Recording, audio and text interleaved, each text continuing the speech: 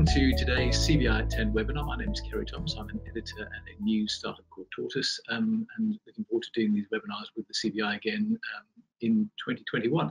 This, of course, is only the second um, CBI at 10 of 2021 and between the first webinar on uh, Monday morning and this morning, we've already had a dramatic change and, and a really quite difficult one for business. So like me, you probably watched Boris Johnson make the announcement on Monday evening that England is going back into full lockdown, something very similar to what we had from March to July last year. And of course, that came just a few hours after Nicola Sturgeon had made a pretty similar announcement in Scotland and Wales and Northern Ireland were already there or thereabouts. Um, and then, as night follows day, we had uh, the Chancellor stumping up some cash yesterday to try to offset some of the worst effects of lockdown, but it's clear that the sums, sums are getting smaller. It's relatively tightly focused support on certain sectors, and there's still big question marks out there over how long that support is going to last. So I think it's that combination of things that we're going to talk about today. Um, the lockdown measures which have been introduced um, and the financial support for business which accompanies them. Um, and I think more than ever, because all this is so new, um, it'll help me, it'll help the CBI tremendously if we can hear as much as possible from you on this call to reflect on um, you know, how, how, your business is going to, uh, how your business is contemplating the next few months we heard Boris Johnson say that the most difficult times of the pandemic are ahead of us. I think he was he seemed mostly to be referring to public health in that, but I think it's probably true for business too. And although we can see the cavalry coming over the hill in the shape of the vaccine, um, is that going to be enough to, uh, to, to, to make sure that your company pulls through? Is the support that Rishi Sunak announced yesterday enough to make a difference? Um, those are the things I think we'll want your help with this morning. So do do fire any questions, comments, thoughts. Um, I think you know the drill by now. The chat is there. Um, put in a question if you want to submit it anonymously. Then just write anon in at the top of it, and we will treat that in confidence, of course. We've got a treat this morning, not one, but three senior people from the CBI to help us wrap our heads around all this. We've got Rain Newton-Smith, uh, CBI's chief economist. Uh, we've got Tracy Black, who's the director of CBI in Scotland, and we've got Annie Gascoigne, who's the director of Econ uh, economic policy for the CBI. Um, welcome all. We'll um, come to you all in due. I'm as ever, Rain with you. I should mention actually, um, this um, the sharp-eyed among you may have spotted, this is not the session that's advertised. I think we are going to, we are intending to talk about Brexit. We will, of course, you know, come back to that. Um, uh, we're absolutely bound to. Um, so we'll let you know when that one gets rescheduled um, as soon as we can. Um, but Rain, um, good to see you again. Yeah, good morning. Nice to see you, Ceri. So I think I mentioned in just in really broad terms, um, the new restrictions that have come in and the support measures of business that have come in to accompany them.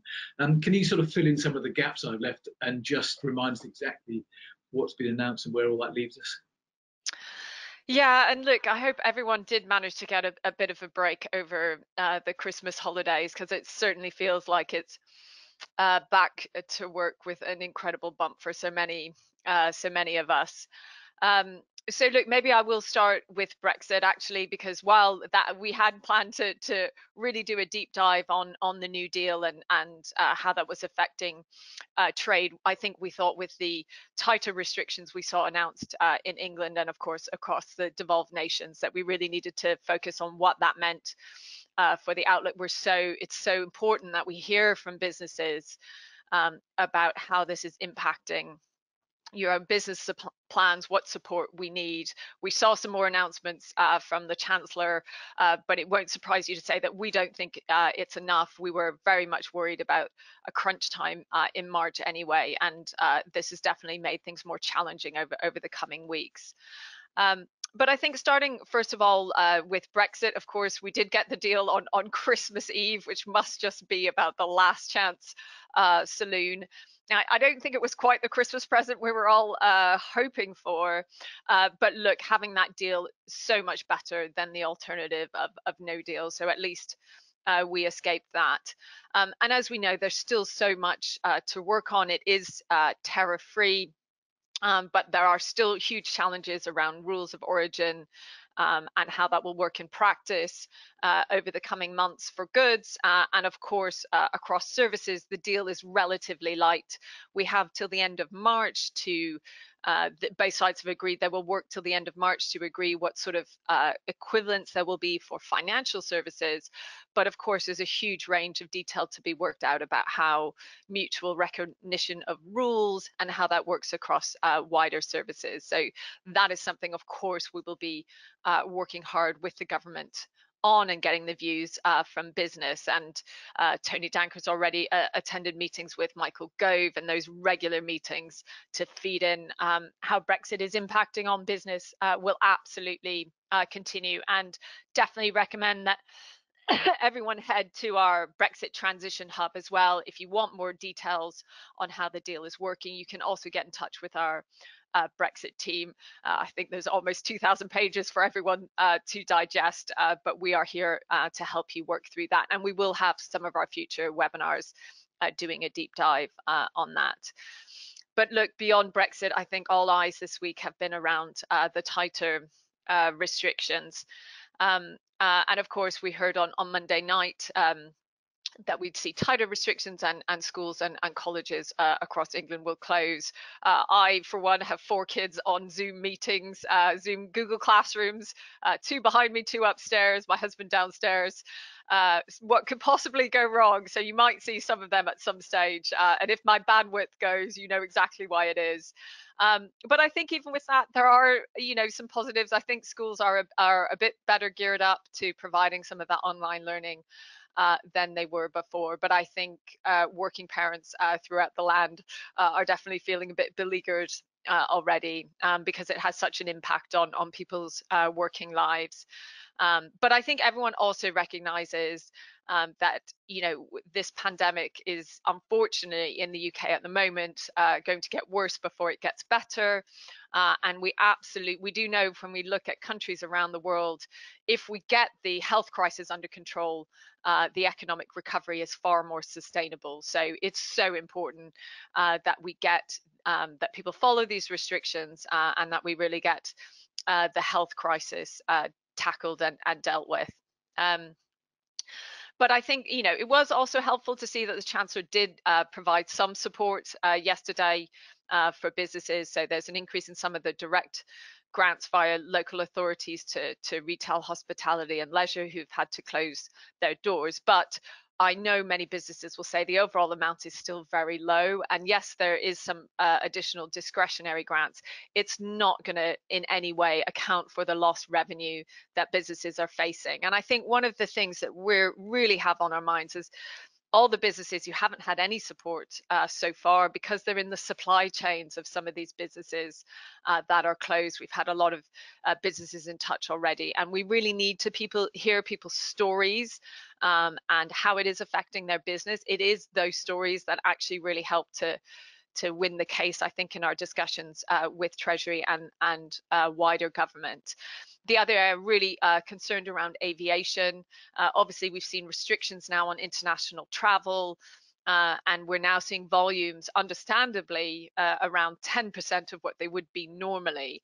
Uh, that's a huge hit, not just to our airlines, but of course the airports themselves and the whole ecosystem that sits uh, around them. And I think that is one area where we haven't seen, uh, by any means, adequate uh, government support, given the uh, challenges that that sector is facing. And we want to make sure that once we do recover from this crisis, and I think having the positive news on the vaccine is so encouraging um, that we have all the infrastructure in place that we need to recover uh, quickly. And aviation and other forms of, of, transport is just, you know, one illustration um, of that. Um, and I think, you know, the other thing that many businesses are also facing uh, you know more and more now is staff absences and uh, you know managing people who are self-isolating mm. um, and I think the strain on, on mental health is something that's very much on our, on our minds and, and we're sort of keen to to share uh, the best practice uh, around that um, but I think I, will maybe just pause and finish with the sort of positive outlook on on the vaccine. I think we've seen 1.3 million people already vaccinated uh, in the UK. There's only a couple of countries who have been more successful so far. Uh, Israel is is the sort of world leader in being able to vaccinate um, number of people, uh, the overall number of uh, people vaccinated uh, per 100,000, uh, but the UK is is quickly behind. And obviously the good news about the Oxford vaccine uh, having been approved as it's now being rolled out quickly and the government uh, hope to have uh, you know all the sort of older older people and, and vulnerable people uh, vaccinated by mid-Feb. We've had a lot of businesses offering as much help and support to for that to happen as effectively as possible, offering facilities uh, for that to happen, and that is where I think we all need uh, to pull together because the sooner we can get that vaccine to as wide uh, a number of people as possible, the sooner our economy can get back on its feet. Yeah, um, I can see actually, Rain, we've got a lot of questions coming in already from people who work in the supply chains around retail, hospitality, and leisure um, about the sort of, and we'll turn to those later. Um, but even even for those people who are in a position to, to, to, to get one of these grants, it's a maximum of £9,000. So you can be a hotel with 100 bedrooms, can't you? And still the maximum you can yeah. apply is, is, is £9,000. And that's really not a lot, is it?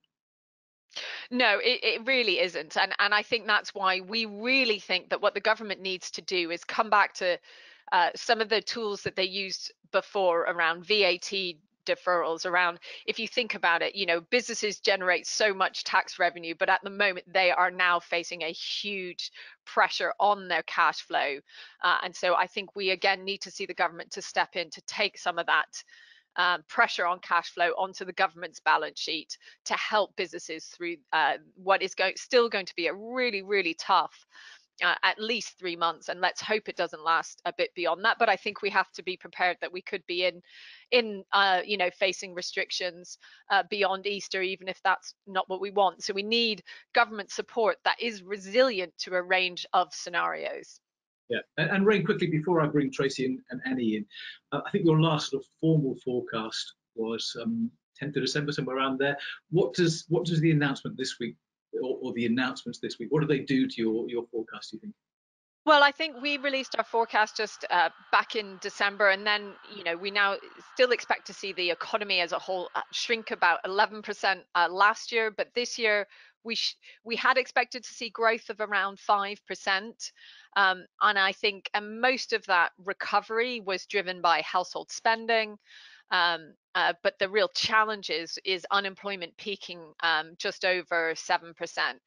And I think the challenge is now is that with the restrictions that we've seen, uh, you know, our estimates is that uh, reduced GDP growth in November, if we're talking about the, the lockdown we saw back in November, by about 5%. I think we'll probably see something about a hit to GDP uh, in January of around 5 to 10%. Uh, and of course, the real questions is how long do these restrictions last? So I think, I don't think we'll get necessarily be able to achieve 5% growth as a whole uh, this year now because my sense is we're going to see uh, a much bigger hit to Q1 uh, than we had anticipated. Of course, if the vaccine rollout is successful, then we could well see um, you know us recovering that lost output in the second half of this year but my sense is it's going to take a bit longer than that um, and we could you know hopefully we won't we'll see the overall size of the economy back to what it was pre-pandemic maybe by the end of next year i think the profile is is really difficult i think what we all hope for is once that vaccine is rolled out maybe we will have the roaring 20s uh, and that sort of uh, exuberance. But what I really, really hope is that we don't see a Great Depression uh, afterwards. I don't think we will because we don't have the, that sort of long-term overhang. Um, uh, but what we have to hope is we have a smooth release of the restrictions uh, so that we can get growth on a much more uh, sustainable path. Great. Rain, thank you. We'll come back to you. Um, but let me turn now to Tracy Black, uh, Director of CBI in Scotland. Um, Tracy, good morning. Morning. Um, I think over the last sort of nine or ten months, I suppose, now of the pandemic, there've been moments when um, when England and Scotland particularly have been sort of closer or further apart in policy terms. How, how do they look? How do the two countries look to you now in that sort of on that spectrum? I think you know the fact is the whole of Scotland is pretty much closed uh, now, similar to down south, but there are still differences in policies. The most uh, obvious one, I think, is in the schools and early years education, for example. Uh, in England, nurseries uh, provision is still there. In Scotland, that has been closed down. And I think most parents, including myself, would recognise, you know, a teenager is fairly self-sufficient, but a two-year-old or a four-year-old, you know, has to be looked after. So those sort of decisions put huge pressures on families for people who have to go out to work. Um, And, and of course, we still don't know the ramifications, long-term ramifications for the young people involved and what it will mean to their opportunities.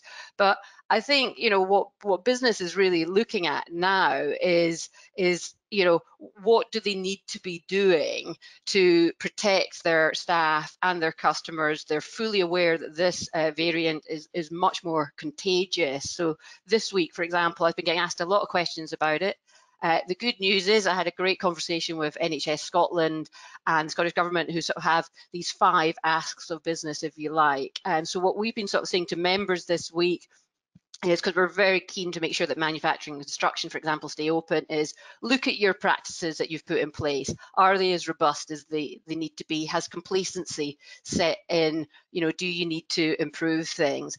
The second one is around ventilation. A lot of companies haven't really been sort of pushed on this, but the NHS Scotland are really saying, you know, even opening a window by two inches can make a huge difference. But if you do have a, a sort of professional ventilation system, you know, when was the last time the filters were changed or, or cleaned out. Car sharing is something that the Test and Protect system in Scotland is really seeing as a hotspot. Uh, and these points obviously apply to the whole of the UK and really asking employers to say to their staff that you should not be sharing a car with anyone apart from your immediate household. And, that, and, that's not just going to and from work, but that's if you've got to go to sites during the day, it might mean taking multiple vehicles or vans, but really asking that people don't share vehicles. And then the other one is around face masks and covering. We know they can be effective. Now, obviously, this is only if it's safe to do so in your job, and obviously, you need employee uh, support on this. But again, NHS Scotland sort of saying, you know, if you could wear face masks, particularly in those hot spots around the building, you know, when you're going to the loo or you're going out to the car park, you know, maybe encourage, and we know some of our members are giving out free reusable face masks, for example, to their staff. So I think there's a lot of focus in Scotland around just how can we make sure that business isn't also being responsible for spreading the virus, what measures could they take to, to keep everybody safe? And I think some of that practical advice is going down really well with our members. Okay. Um, Tracy, I'm sure you've got your ear pretty closely to the ground in Scotland. I'm looking at the questions that are coming in on, on the chat, and there's a degree of something close to anguish about how businesses are going to get through the next few months. What, what have you been hearing from your from your members about about how they're how they're you know how they're feeling in the wake of those announcements on Monday? Well, I think it's it's just you know what a start to the year. It's just uh, you know we keep talking about feeling as if we're on this enormous hamster wheel, uh, and yes, we get good news about the vaccinations, but we know that sort of what we call vaccination sort of dividend is going to take months possibly to come in. I think you know people absolutely acknowledge that the UK government and Scottish government, you know, have done some huge support packages, the JRS, the bounce back loans. But what was so effective about them was the speed that they came in and how they were delivered. And in recent months, what we're seeing is that there's a real frustration. We get these big headline numbers, but it's actually how long does it take for that money to actually flow into business bank accounts? So you get told on the 2nd of January, bank holiday in Scotland, that your business is shutting down again, potentially, you know, the next day or, or having real uh, changes to your business. And of course, we've got an extra layer. The Chancellor makes announcement it then gets passed over to Kate Forbes, the finance secretary in Scotland, who then passes it on to the 32 local authorities, who then have to design the system and put the rules in place and then business has to figure out how to access it. So I think a lot of frustration there. The sums are not coming through. And there's also what we've ended up with is a myriad of grants and support schemes. It's really complicated. So I think what members would like to see is simplified, how you actually apply, and possibly a consolidation of some of those grants. Right. Okay, Tracy, thank you. Um, Annie, uh, as I mentioned, um, Boris Johnson said on Monday that we're heading into what may be the most difficult period of, of, sort of pandemic. But it did seem at the time that he was thinking mostly about the public health aspects rather than business when he said that. Do you think the most difficult days for business are likely to be ahead of us as well? Well, so in some respects, I think you know we've been here before. The lockdown restrictions um, are, are, very similar um, to to what we saw in March um, and therefore the impact on, on the businesses that are closed are potentially um, of a similar order of magnitude. Although I think uh, the caveats to that are uh, clearly that businesses are more prepared. Um, I think it is true that there are there is now COVID secure guidance in place that we didn't see last March, which means that more businesses are able to continue operating um, through the course of this lockdown, particularly as Tracy said, manufacturing and construction feeling much more confident. But I do think, um, as, as Tracy also said, that many businesses will be reassessing um, their safety procedures.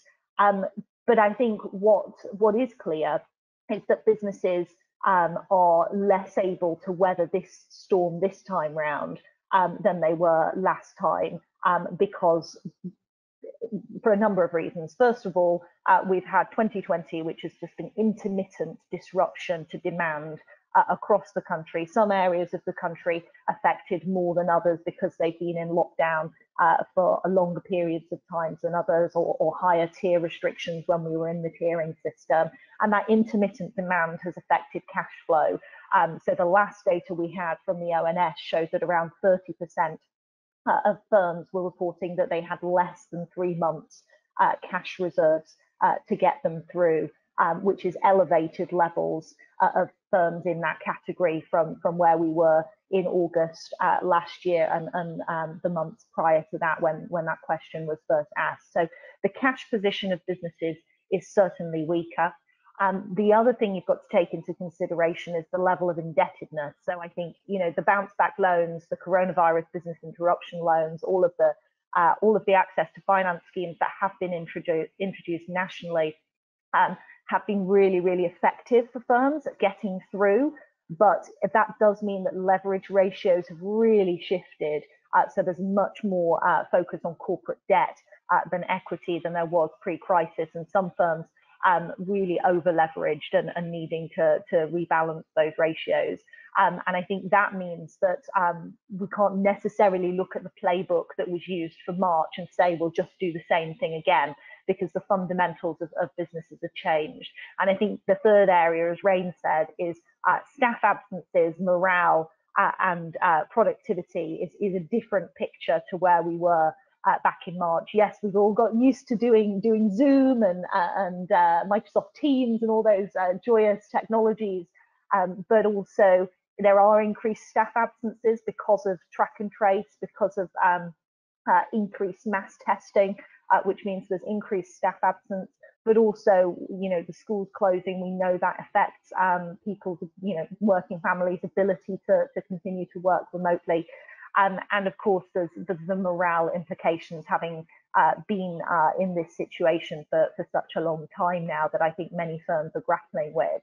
Um, so I think a combination of those factors means that firms are, are struggling in a different way um, than they were back in March. And so when we look at the economic policy response to that, we need to take those into consideration when designing uh, you know, support uh, for businesses through this period. Right. Okay, Annie, thank you. Um, let, let's turn to the question of supply chains, because it's been a big theme in the come in. I, I, could have taken a question from Keith Warren or Andy Allsop or Simon Berry, who's the MD of English Lakes Hotels. They're all making the same point as, as Bernard Taylor, who says we're a business in the supply chain for the hospitality sector. We are again faced with a zero income situation. While cash, cash reserves helped us through 2020, they're now gone. There seems to be no support for our business, although we have taken advantage of the JRS. How are we expected to survive, or indeed will we survive? Um, Rain, I suspect that's not untypical mm. of people sector that, that Bernard Taylor is talking about. Uh, it, would the government's answer to that be that people in the supply chain for retail, hospitality, leisure are expected to apply for these discretionary grants that councils have access to, which is would that be the, the formal position? I think they probably eh, they would point to the discretionary grants, but they would probably also point to the other, you know, big uh, building blocks of, of support. So one, of course, is is furlough where demand is so weak that you're not able uh, or you don't need to produce, you you have the option uh, to furlough staff. Now that is open uh, until the end of April, and I think what we are pushing for is, given where we are now, we need to have clear line of sight that that will continue at least till the end of, of Q2. Um, that's so important for how businesses plan. It's so important for individuals uh, who are obviously really anxious uh, in this period. We need to reap the investment of of that support that has been uh, in place. So having that in place till the end of Q2 and then uh, some sort of taper uh, beyond that just seems to be appropriate from where we are now. Um, the second uh, mechanism the government would point to is, is the loan uh, and the lending schemes that are available. But I have complete sympathy with manufacturers in supply chains to the really hard hit sectors because the challenge is they haven't had any business rates uh, relief at all. They haven't had any of the uh, direct uh, grants that were provided for anyone who had a rateable property, a high street shop, uh, etc. And but their business has been hugely impacted. So we are absolutely going to be going back to Treasury and say, look, when um, particularly when you think about March, that business rates relief uh, ends for hospitality and leisure at the moment. Um, we think we will we should need to see some form of support i think and some form of uh, relief for that sector beyond march but i think it needs to be targeted right? We probably don't need to be providing that relief anymore to essential retailers right? They have been uh, the lifeblood of, of getting uh, food and drink to, to all of us but their businesses have been doing well uh, beyond that. But what we should see is some targeted business rates relief for those who who have been really impacted and will continue to be and manufacturers aviation um, uh, and hospitality and leisure who will who may still be closed beyond that point is absolutely in uh, in our sights. Um, and I think we also need to come back to this question about VAT uh, deferrals and, and whether there's uh, the potential to allow VAT to be paid back over a longer period of time or, or deferring a, a potential another quarter just to alleviate some of the cash flow uh, issues uh, we are facing. And there's probably more that could be doing could be done on how loans uh, are repaid. But I think we really want to amplify, I think, the voice of some of the manufacturers and people in supply chains uh, who've been really impacted. My sense is their voice haven't, haven't been heard uh, enough so far, uh, and we really need to make sure that, that their voices are heard. Well, and I guess, Rain, you know, we gave the government credit for acting fairly quickly uh, uh, and acting at scale in the early days of the pandemic. But but is it open to criticism for not subsequently then tweaking the schemes that it introduced? Because actually there, there, haven't been big changes. The, the, the kind of fresh targeting that you're talking about doesn't seem to have happened very much, does it?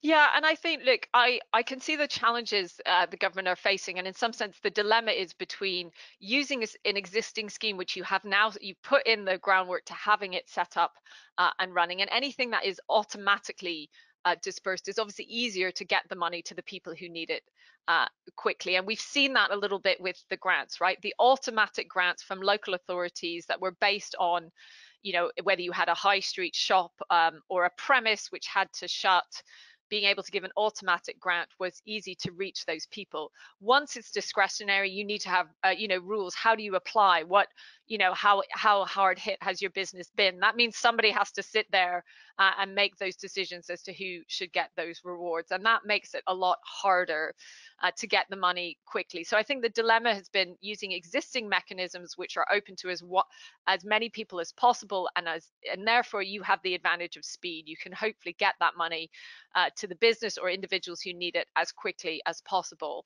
Once you start to need to target it, it does become uh, more difficult. But our sense is the government really need to invest in that, thinking about how they can target business rates relief post March. That thinking needs to be done now so businesses can have clarity uh, as to what will be in place uh, post March. And I think that's just one illustration of some of the targeting we need to see.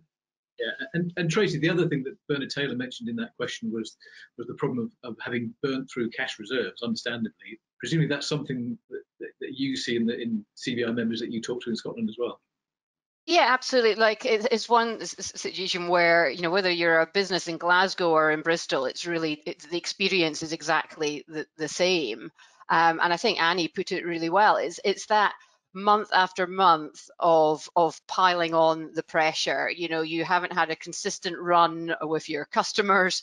You haven't had uh, you know you haven't been able to plan. You haven't been able to budget. You haven't been able to improve you know your equipment anything. You know it, it's just been you know stuck like in the mud for for nine months and a year and and people are tired. I think you know normally in Scotland you wake up on the second of January. We need an extra bank holiday because we're partying so hard. You know we needed the extra bank holiday this year because everybody's knackered, quite frankly. And so I just think people are emotionally, mentally, physically, everything uh, really, really tired, and that is the management and the staff. And it's really hard for these businesses to sort of go, come on, put our shoulders back, let's get back out there when you really don't know you know when you're really going to see that real optimism come back. And i think with this crisis what we always have to keep remembering is it's all about people. It's whether it's about protecting lives protecting jobs protecting your customer base it's all about people. And and for us you know i think one of the things and, and why people are asking so much now it's all about testing and vaccinations. You know in scotland you know a lot of companies looking at private testing but actually our private testing still doesn't link into the test and protect system. And yet we know that could be a really good thing that business could do. Vaccinations we saw a great announcement by waitrose yesterday that they're going to provide a facility for testing. Again this is a massive endeavor for the NHS? Where can the private sector help? Is it providing advice to employees, but maybe it's centres? But it all comes down to, to people. And that cash flow is not going to improve until customers are back and production lines are back up to full capacity and people feel safe again. It's, it's yeah. really challenging. Um, Tracy, let me stay with you because I've had a question in um, pointed in your direction from Gordon Nelson of the FMB, just while, while, while, we're looking at sort of gaps in support. Um, so um, Gordon, who uh, who, um, looked over the construction sector, um, obviously construction works in many ways can continue, but but Gordon is wondering whether there is a specific gap within domestic. A lot of people work in domestic settings where they're only allowed in Scotland now, I think in England too, to to work on essential maintenance. Um, so he wonders whether there's a gap in support for people who would normally work inside other people's houses and now can't, and whether that's something that's on your radar. Yeah, no, absolutely. And it was raised. I had a call with the Fiona Hislop, the cabinet secretary for the economy, on Monday, and we did, and she did reiterate exactly that. That you know, up to Christmas, you know, trades could come into the house, um, you know, and, and it was booming. There was no doubt about it. You know, people getting their houses decorated, they were doing home improvements. Uh, but now, from from this week, absolutely, it's only essential. You know, if your boilers burst, sort of thing. Um, and that will have a huge impact on the self-employed, of course, because um, you know many of those trades are either small SMEs or, or, or sole traders. Um, and I think this is what Rain's saying. You know, we, have had these very sort of firm sector sort of support. I think now when you know the whole economy is affected, you know, it has to be looked at, you know, has your business been adversely affected because of COVID, not because of your poor mismanagement? And if you can prove that your business is directly affected from COVID, you should be compensated for it. And, and we talked about this earlier uh, offline, but you know, there's this difference between support and compensation. These are mandated closes, closures and and this isn't about government doing business favors. You know the fact is they're being directly affected quite rightly. You know we need to protect people's health. So it's essential that these tough measures come in. But at, at the moment the money does not come anywhere close to the losses that those businesses are, are facing. Yeah. Um, i think we, we want to talk a little bit about the cliff edges that are coming up because I think that's a that's an area that CBI is concerned about. And, and touching on that, let me come to you, Annie, because we've had a, a, question in about um, bills, um, a loan that is due to start repayments interest charges from from May this year. Um, how can we repay these with virtually zero income suppliers to the event industry? Um, what's do you see any signs of movement from the government on on sort of on the repayment date for, for CBILS and uh, CLBILS? Um, so, I mean, there has been some movement in the sense that we know um, at the winter economy statement um, last last year now uh, that the Chancellor announced um, the kind of pay as you grow scheme for the bounce back loans and, and also extended um, the repayment uh, period. So allowed allowed lenders to extend the repayment uh, periods for, for CBILS. What we are hearing, though, is that that discretion on the CBILS is challenging because it's ultimately down to the lenders. It, it's not automatic in the way that the, the bounce back loans has been extended from six to 10 years. It, it's ultimately uh, down to an application process. So I think uh, something more automatic on uh, extending the repayment periods for, for CBILS, so spreading those uh, those loans over a longer repayment period and perhaps even beyond 10 years. That's certainly something that we're exploring with the sector, you know, the financial services sector, uh, uh, about how that can help.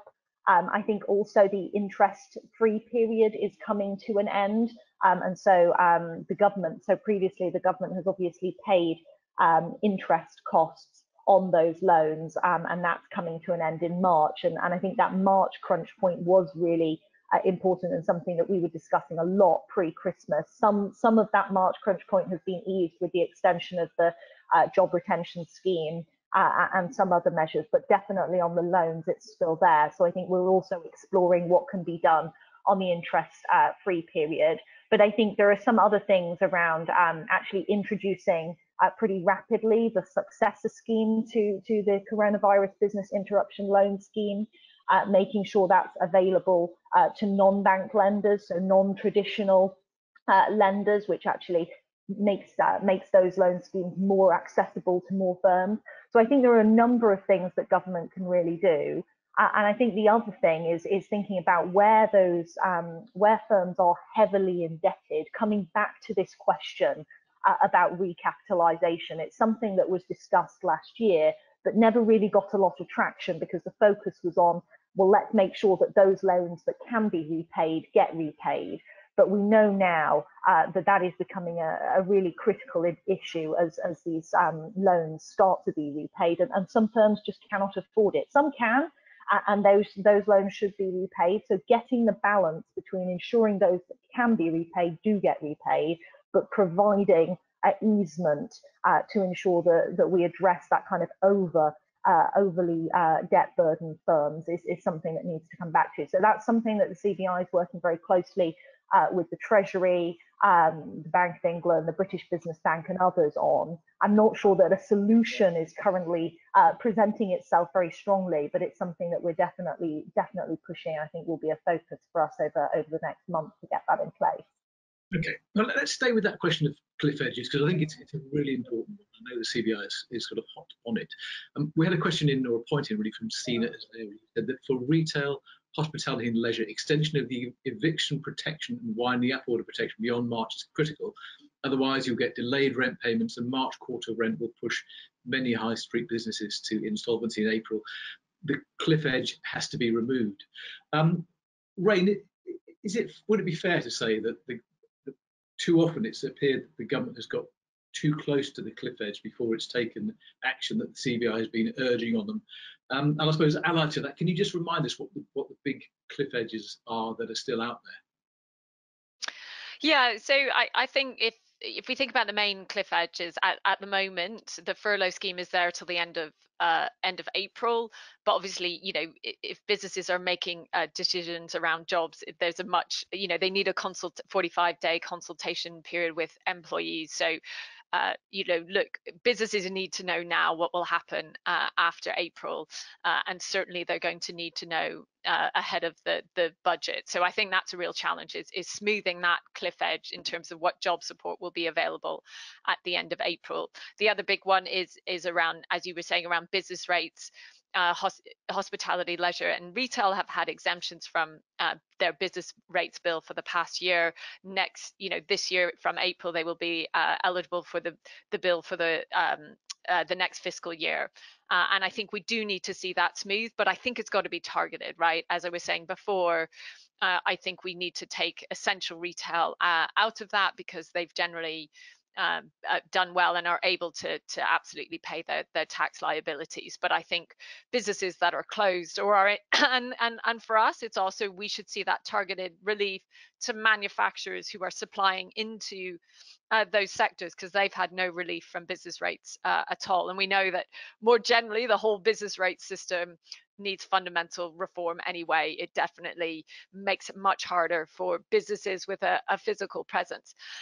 so that's the other uh, big cliff edge. And then the other one that um, Annie was also talking about is is repayment of of those loans. At the moment, that those interest payments uh, kick in from uh, the end of March. And what we are work, what UK Finance and we are working with a proposal uh, with government is that those repayments shouldn't start until we should have a six month delay on those uh, repayments because I think wherever we are, it's still going to be pretty tough for businesses uh, going into that. And if we can delay some of those repayments into the into the autumn, that's going to provide vital uh, breathing space to business. So that's another uh, cliff edge that we really need to, to see smoothed. And do you count VAT deferrals in that bracket as well? Yeah, so um, I mean, Annie may want to come on to the the uh, our sort of latest thinking around uh, VAT deferrals, but again, it's about smoothing the the repayments. There is some capacity around time to pay where you can go to HMRC and say, I, you know, my business has been really impacted. I can't pay all of my tax liabilities. But actually, we know from the first uh, quarter that VAT um, uh, deferral was actually one of the the support that the huge range of businesses used because it was so such an easy way of helping their cash flow. Um, and this is about cash flow. This doesn't mean that these businesses aren't paying back this liability overall. This is just smoothing that repayment and giving uh, businesses more time. But i don't know annie if you wanted to add any of our uh, thinking around that as well um, yeah, I mean, I just I just make two points. I think um, the the VAT cliff edge is, is clearly that uh, what the government have done is that they've said instead of having to repay that kind of uh, March to June VAT that you may have deferred um, from 2020 all in one instalment, um, you know, in March, April time, that actually you can spread that over 11, 11 equal payments over 2021. Um, however, that means that, you know, businesses are having to start repaying um, some of that money now on top of their either monthly or quarterly VAT bills that they have to pay anyway. Um, so there's a, there's a question there about that kind of hangover deferral, which starts to kick in uh, very soon. But then I think there's another question about well, well do we need further deferral of, of other VAT payments that are due between um, now and, and perhaps the end of March or even end of April? Um, across the board. So that's VAT that will have been collected in the last couple of months or so um, on behalf of, of customers that, that is now due. And I think that's the important thing about VAT. This is tax that businesses collect on behalf of their customers and then pay to, to HMRC. This is uh, this is not their tax bill, but what the VAT deferral does do is it allows that cash to stay within the business um, so that they can continue to pay other essential costs um, as they're, they're kind of shut down, but then that is due later on. I think the other thing I would say about VAT deferrals and, and tax deferrals more generally, uh, the government has done those on an interest-free basis. I mean, usually when a when a company, you know, in normal times uh, defers tax payments because they've gone into financial difficulty, there are interest uh, payments due, and, and that has been um, waived in, in the instance of this crisis. That must continue uh, to be the case. We can't revert to the case where uh, where businesses are accruing quite high levels of interest. In fact, the interest rates um, charged on tax deferrals are, are much higher than prevailing uh, rates of uh, rates of interest charged on on private lending to firms. Um, just because of the, the nature that the, that the government doesn't want to encourage uh, firms to do that as a way to, to borrow cheaply, of course, in normal times. But that interest-free uh, rate needs to continue uh, for any deferrals that can that continue to happen throughout 2021. So there's a combination of things I think that that we need to look at again uh, because there are some sort of big liabilities that, that are potentially coming in at a time when uh, firms, a lot of firms really don't have a lot of income uh, coming in, and I think I think that's key. Yeah. Okay. But we're getting towards the end. Uh, Tracy, can I come back to you for what may be the final word here? Um, I, I, mean, I guess we saw Boris Johnson holding out rather timidly the prospect of a return to normal life from the middle of February onwards. I don't think a lot of people think that's particularly realistic. Um, if you were planning um, for when the lockdown measures might start to be eased, what, what, what, what date would you have in mind as a realistic target for when things might start to get better? I've never wanted to think of myself as a clairvoyant, but if uh, certainly from my uh, members, there seems to be a sort of general sort of chat around May, June. Now I don't know if that's because that's the best two months for weather in Scotland, um, but there's certainly this feeling that sort of Q1 is definitely is just going to be more of the same. Um, and I think this, the, certainly that's the, in, in, our sense here is it will really not kick in until Q2 and probably more like the May June period of time where, as I say, uh, life gets quite rosy in Scotland. Uh, it's the best time to visit us, so hopefully uh, tourism will be uh, reopened.